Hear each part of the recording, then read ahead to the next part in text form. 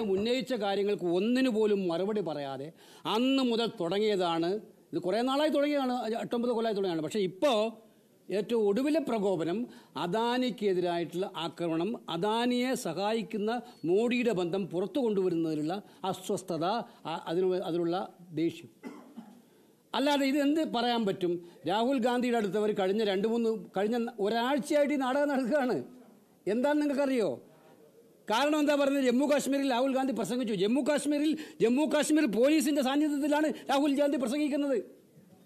എന്റെ C R P അവിടെയുണ്ട് എന്റെ ജെ എം കെ പോലീസ് അവിടെയുണ്ട് അവരുടെ സാന്നിധ്യത്തിലാണ് രാഹുൽ ഗാന്ധി പ്രസംഗിക്കുന്നത്.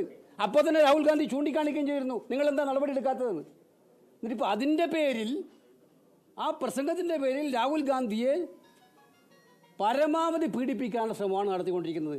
ഒരു കാര്യം മാത്രമേ ഞങ്ങൾക്ക് മോഡിയോട് പറയാനുള്ളൂ. തീക്കൊള്ളി കൊണ്ട് തലയൂറിന് സമാനമാണിത് ഇന്ത്യയിലെ കോൺഗ്രസ്സുകാരെ സംബന്ധിച്ചിടത്തോളം ഇത്തരത്തിലുള്ള അപമാനിപ്പിക്കലും അതുപോലുള്ള സമീപനങ്ങളും വെച്ചു പൊറിപ്പിക്കില്ല എന്ന് മാത്രമല്ല ഞങ്ങളെ അങ്ങനെ പേടിപ്പിച്ച് പിന്മാറ്റാമെന്ന് വിചാരിക്കുകയും വേണ്ട.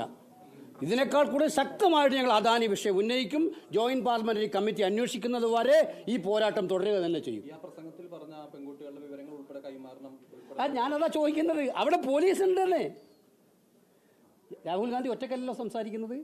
ജമ്മു കാശ്മീരിൽ നിങ്ങൾ നോക്കുക വിഷ്വൽസ് എടുത്ത് നോക്ക്. മാത്രമാണോ? ഇപ്പൊ എല്ലാ രാഷ്ട്രീയ നേതാക്കന്മാരും ഇത് പ്രസംഗിക്കാറില്ലേ? ആ രാഹുൽ ഗാന്ധിയെ മാത്രം ഒറ്റ തിരിഞ്ഞ് അതിന് രാഹുൽ ഗാന്ധി സ്റ്റേറ്റ്മെന്റും കൊടുത്തല്ലോ അവർക്ക് രണ്ടു ദിവസം മുമ്പ്. അപ്പൊ ഇത് കൃത്യമായിട്ടുള്ള അജണ്ടയോടുകൂടി യഥാർത്ഥ കള്ളനെ പിടിക്കാതെ അവൻ എല്ലാ പ്രൊട്ടക്ഷനും കൊടുക്കുകയാണ്. ഈ രാജ്യം കൊള്ളയടിക്കുന്നവർക്ക് എല്ലാ പ്രൊട്ടക്ഷനും കൊടുക്കുകയാണ്. സത്യങ്ങൾ തുറന്നു പറയുന്നവനെ പോലീസിനെയും പട്ടാളത്തെയും എല്ലാവരെയും ഉപയോഗിച്ചുകൊണ്ട് പേടിപ്പെടുത്തുകയാണ്. ഇത് ഇന്ത്യത്തെ വളരെയൊക്കെ പട്ടണമാണ് ഇതുകൊണ്ടൊന്നും ഞങ്ങൾ പേടിക്കാൻ പോണില്ല. ഞങ്ങൾ ശക്തമായി പോരാടും. അവരിതുപോലെ തന്നെയാണ് അഞ്ച് ദിവസക്കാലം ഇ ഡിയെ ചോദ്യം ചെയ്തത്. എന്തായി എന്നിട്ട്?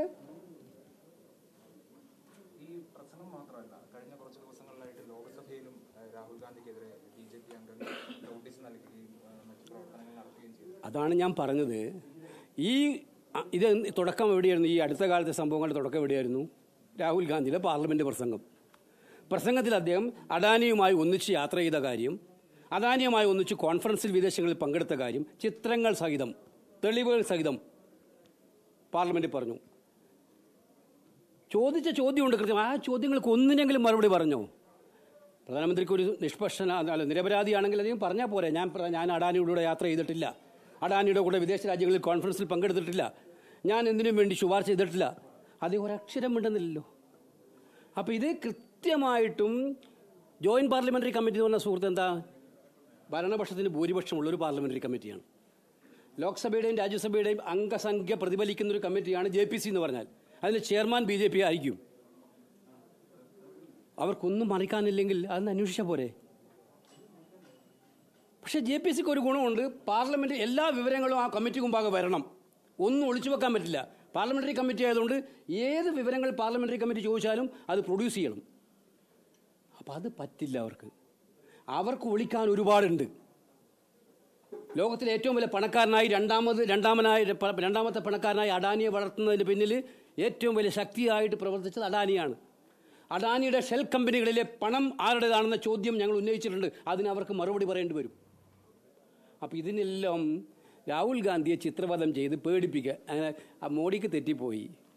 ഇതൊന്നും കണ്ട പേടിച്ച് മാറുന്ന ആളല്ല രാഹുൽ ഗാന്ധി. പൂർവാധിക ശക്തിയോടെ രാഹുൽ ഗാന്ധിയും കോൺഗ്രസും ഈ കാര്യങ്ങൾ ഉന്നയിച്ചുകൊണ്ടേയിരിക്കും.